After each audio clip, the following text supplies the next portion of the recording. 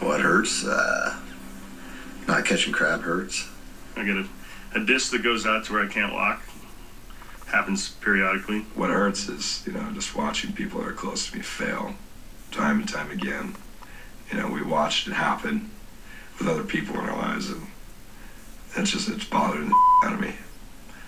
In order for me to stay who I am and continue to grow and move forward and becoming a better man, I need to remember who I was and where I came from. And that hurts. Well,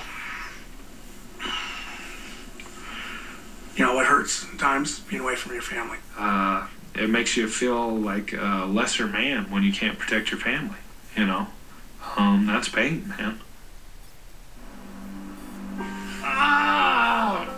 Daddy, we missed you. I missed Daddy, we missed I missed you too. You glad Daddy's home? you. Daddy's home. Okay, okay, okay, okay. Missed you. Daddy's home. Okay. You know, Elliott, you know, I'm just gonna ask you to leave.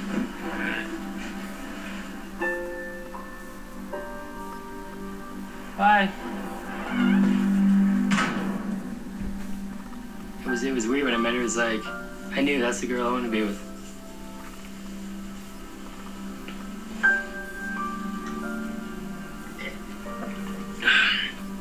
It, it, it's just tough, you know, after being with somebody that long.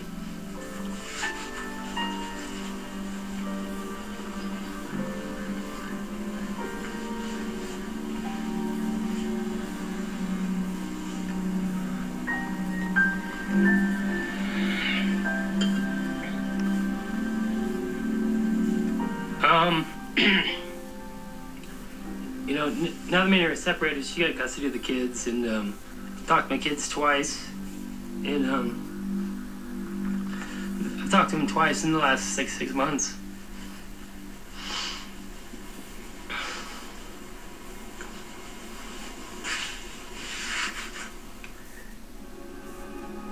Hurts is failure. It's uh, you know, it's that separation. I talked to my daughter for the first time a few days ago, and um, she yeah, she told me she goes, "I don't want to talk to you. You're a bad guy." 'cause mommy says so, and hangs up the phone on me. It's missing your kid's first steps or their first word. I was out fishing in the Bering Sea when both my daughters were born. You know, that's something I can never get back. You know what I what I did is, I mean, dude, she can have her opinion on me because of her mom, and you know, hopefully when she gets older, she realizes that her mom, that um, you know, her dad's always been there for her.